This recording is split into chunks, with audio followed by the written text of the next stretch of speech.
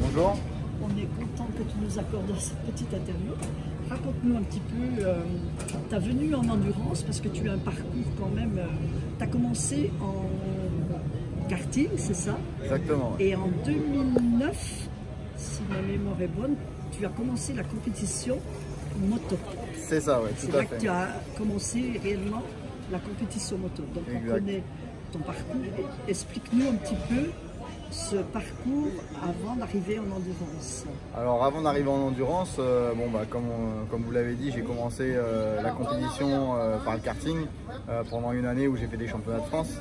Ensuite, euh, je suis passé en, en moto par problème de budget et par envie aussi d'essayer d'expérimenter d'autres choses. Euh, donc j'ai commencé euh, à l'âge de 12 ans euh, la moto. Et ensuite, bon, j'ai franchi les échelons au fur et à mesure, euh, surtout en catégorie Moto 3, où euh, je suis arrivé à un niveau qui était assez important. Euh, j'ai roulé en Radio Rookies Cup pendant deux ans, en 2014 et 2015, où j'ai pu me confronter à des pilotes qui sont maintenant en Grand Prix, comme Didier Antonio, comme Bobin Schneider, Mir, Martin et d'autres. Et ces années-là m'ont permis de pouvoir après intégrer le championnat du monde junior. Euh, donc le championnat du monde junior où j'ai fait de bons résultats aussi. J'ai aussi fait quelques grands prix cette année-là en 2016. Et à l'issue de cette année en 2016 qui a été très intéressante et, riche en résultats, enfin ces trois dernières années ont été riches en résultats, euh, j'ai euh, eu l'opportunité de pouvoir aller en Grand Prix. Pendant l'hiver euh, 2016, il y a eu des négociations qui se sont faites pour que je puisse faire la saison complète en Grand Prix en 2017. Malheureusement, en début de saison, problème de budget m'ont forcé à ne pas prendre part à la saison. J'ai dû rester chez moi et faire une année blanche. Et après, ben, le renouveau. Euh, je suis revenu en championnat de France Superbike en 2018, euh, donc en catégorie 600 Super Sport, où j'ai dominé l'année, enfin trois quarts de la saison, euh, en étant en tête du championnat avec euh, un week-end, un bon week-end d'avance en termes de points. Euh, et c'est ce qui m'a permis de pouvoir euh, prétendre à des places en endurance. Voilà comment je suis venu à l'endurance. Beaucoup de teams m'ont contacté suite aux résultats que j'avais fait en championnat de France. Et, euh, et à l'issue de ça, euh, je suis arrivé lors de ma première course au Bol d'Or en 2018 euh, avec l'équipe Louis de Moto. Ensuite, j'ai eu différents teams. 2019, on avait fait la saison complète, ma première saison complète avec 8 motos en stock, où on s'est battu pour le titre jusqu'à la dernière course. Euh, ensuite, Ah oui, je me souviens. exact, ouais. Très juste. Après, j'ai intégré euh, l'équipe Mako Racing en 2020 euh, avec le projet de faire de l'endurance et de la vitesse en même temps, faire championnat d'Europe avec un soutien justement d'Yamaha Europe. Oui. Donc là, c'était un très beau challenge. Malheureusement, la conjoncture Covid et tout ça a fait que on n'a pas fait beaucoup de courses. Ça, c'est malheureusement, je pense que c'est pour tout le monde pareil. Donc ça a reporté le projet en 2021 et puis des soucis euh, qui, suite au Covid, des soucis financiers sont arrivés de nouveau. Et, euh, là malheureusement euh, bah, j'ai changé, j'ai pas forcément fait de championnat de- d'Europe. Par contre bah, j'ai commencé la saison avec Mako en endurance. Ensuite les deux prochaines courses, Estoril et Bol d'Or, je les ai faites avec, avec National Moto. Et j'avais fini la saison avec les 8 heures de Most avec euh, Tati. Et ensuite 2022 et 2023 les saisons avec Mako Racing. C'est vrai que le Covid a bouleversé, a chamboulé plein de choses. hein. Ça, a été compliqué pour tout le monde. C'est ça. ton parcours, il est quand même assez exceptionnel, euh, Enzo. Euh, moi, j'aurais envie de te poser une question. Euh, Comment tu te sens maintenant dans le milieu de l'endurance? Est-ce que ça te plaît? Bah, je pense que quand je suis venu à la moto, mon but c'était d'aller en Grand Prix. Donc forcément, euh, je suis venu dans l'endurance parce qu'on m'a proposé Petite des... frustration, on va dire. Oui, forcément, maintenant euh, je reste quand même épanoui par l'endurance parce que moi la vision que j'avais de l'endurance à l'époque c'était, puis on- ce qui était vrai, c'est que tous les pilotes qui n'avaient plus de possibilité de carrière en vitesse se retrouvaient en endurance. Donc c'était un petit peu le, le recyclage de- des pilotes de vitesse. Maintenant, ça a complètement changé. On se retrouve à avoir un niveau qui est de plus en plus important chaque année, de par le matériel, de par euh, les pilotes. Et, euh, et on se retrouve plus à avoir une course de vitesse qui dure 24 heures plutôt qu'une course d'endurance, une course d'attente où on va attendre que chacun fasse des erreurs, etc.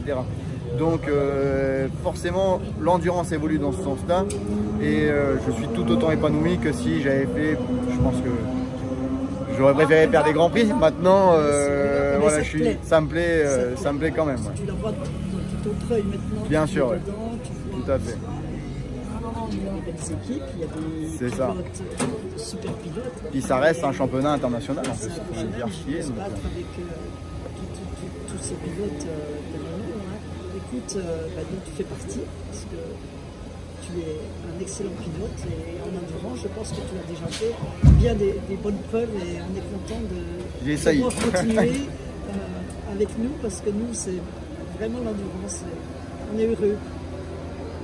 bah, Si Jacques a des questions, euh, Alors là, ben, donc, tu changes, euh, tu changes d'équipe, tu changes de catégorie, exactement. et par contre, tu restes dans la, dans la même, même marque. Exactement. Est-ce que tu trouves une différence de pilotage par rapport à la Yamaha que tu pilotais l'année dernière? Alors oui, c'est complètement différent, dans le sens où euh, l'électronique, on va utiliser le même, mais euh, on va pas travailler forcément les mêmes choses. L'électronique d'une EWC, même si on garde un GYR, euh, un boîtier GYR d'origine, ça reste... Ça reste le même boîtier, mais les options qu'on a dedans sont différentes. En stock ne va pas forcément aller chercher beaucoup de réglages en termes de, de traction control, de toutes ces choses-là, alors qu'un team en superbike, on va peaufiner pas mal de choses. Et après, de façon générale, niveau châssis, niveau pilotage, on est sur des choses qui sont complètement différentes. On va avoir un châssis qui va être bah, dérivé de l'origine, donc euh, ou forcément euh, une moto qui va être plus souple, une moto qui va être euh, moins exigeante en termes de pilotage, moins précise aussi, mais avec un ressenti qui est différent, un ressenti qui est peut-être plus plaisant qu'une superbike. Parce qu'aujourd'hui, d'avoir une superbike, oui, peut-être que ça roule plus vite, mais si elle est bien réglée. Si une moto de superbike n'est pas forcément bien réglée, bah, c'est pas forcément un cadeau. Une stock, il y a moins de marge d'erreur, on va dire. Et puis, quelles sont tes ambitions pour, le, pour cette épreuve et pour la saison? Alors les ambitions pour, euh, pour cette épreuve, je pense que c'est de finir déjà sur le podium, ça serait vraiment bien, on est là pour ça. de façon. En stock, c'était dans l'objectif de pouvoir jouer le titre comme je l'ai fait dans ma première année avec Louis Moto. Euh, maintenant, euh, c'est notre volonté de pouvoir jouer le titre. Je pense qu'il va falloir la saison, euh, il y a quand même quelques courses de 24 heures, donc il va falloir prendre étape par étape. Je pense que si on arrive déjà à faire un podium sur cette première course-là, ça sera déjà bien et des points euh, pour cette première course. Est-ce que tu sais, déjà qui est, déterminé pour prendre le départ euh, samedi? Absolument pas pour le moment. Je pense que déjà on va laisser place aux qualifications, faire les essais encore demain, les, essais- les essais de nuit. Et euh, suivant le rythme, je pense qu'on prendra une décision de savoir qui part ou pas. Ce qui est important en endurance, c'est d'avoir un pilote qui, oui, forcément va être vite, ça permet d'avoir la visibilité, mais rien ne se joue à la première heure. Donc euh, il faut faire attention de ne pas mettre quelqu'un qui va forcément euh, être au-dessus de ses pompes dès, le début. Et euh, ce qu'il faut, c'est de ramener la moto le mieux possible, certes, mais la ramener en priorité. Et là maintenant, donc vous êtes quatre pilotes. Cette fois, bon, quatre pilotes autorisés à prendre la, part à la course. c'est une nouveauté donc dans la réglementation Superstock. Bon, il y a certaines équipes qui en prennent carrément que trois. Des équipes qui, qui mettent le quatrième pilote en réserve. Et d'autres euh, où les quatre pilotes, euh, c'est décidé, ils vont, courir euh, sur la course. Quelle est la stratégie de l'équipe Pitlane? Alors nous, on, a quatre pilotes.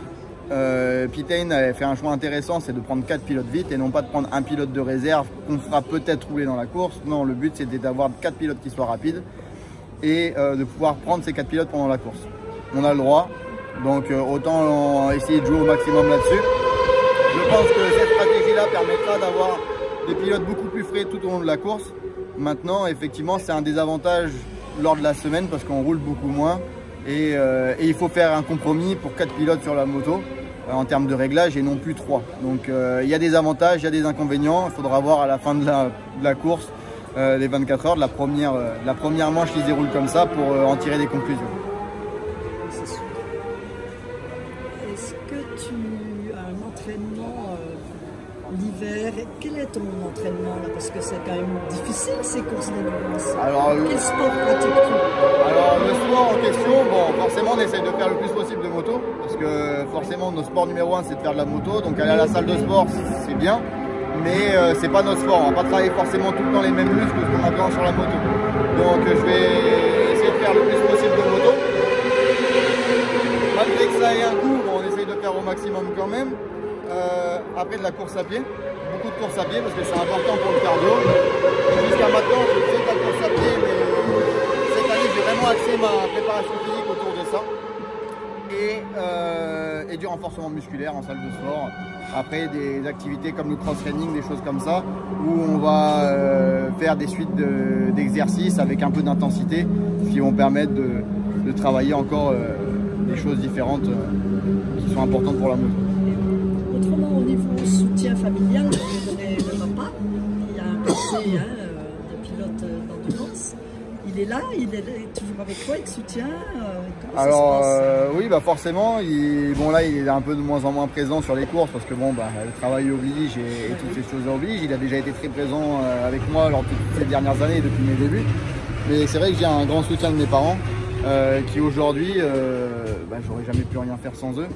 Euh, ils ont été là pour me soutenir dès le départ. Ça n'avait pas été facile, que ce soit financièrement, que ça soit, on n'a jamais eu de vacances. Euh, mes parents n'ont jamais pris de vacances de façon générale et les seuls moments où ils ont pris du temps libre, c'était pour pouvoir m'amener sur les courses, etc. Donc euh, non, je les remercie infiniment pour ça et aujourd'hui, bah voilà, ça fait partie de l'entourage qui est très important. J'ai aussi ma copine qui me suit maintenant sur les courses depuis quelques années, où, euh, bah, qui prend le relais maintenant de mes parents un petit peu. Euh, pour tout ce qui est euh, bah, tendance, ce la partie cachée en fait de l'endurance où il faut aller amener les casques chez Shark ou chez d'autres fabricants. Hein, ah non, ça effectivement c'est important. bande de pilotes, équipe, de pilotes, famille, team manager ou toutes ces choses-là. Et c'est vrai que c'est vraiment important, le, le, travail de fond est vraiment important d'avoir les choses, les, les affaires qui soient prêtes au moment où on doit prendre le départ.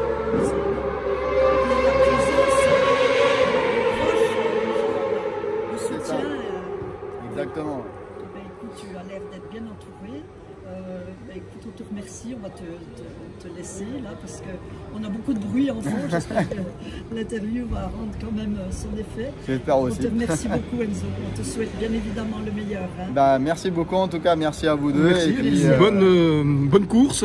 Bah, merci et puis bon, bon 24 heures à tout le monde du coup. Hein. Ben, merci beaucoup. Ah, bah, merci et puis bon 24 heures à toi avant tout bien sûr merci, et puis à ton équipe. Hein. Merci. À très bientôt. À bientôt. À bientôt.